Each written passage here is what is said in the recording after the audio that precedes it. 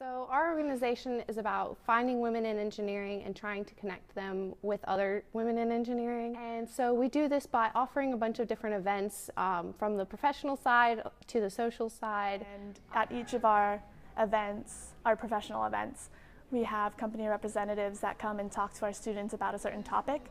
And that's both good for career development and leadership development, and also just accessing your network skills. And the good thing about it is we welcome anybody. So if you have a male friend who wants to come, he's more than welcome to join. And you know they're they're much smaller than um, a typical workshop would be, so you get more one-on-one attention. There's such a small percentage of women in engineering. We try to like get everyone to stick together and to continue on um, because it can be difficult if you're you know the one woman in the engineering class. So it's really nice that we can help everybody to find others to help, you know, move them forward and continue on on the path to being an engineer.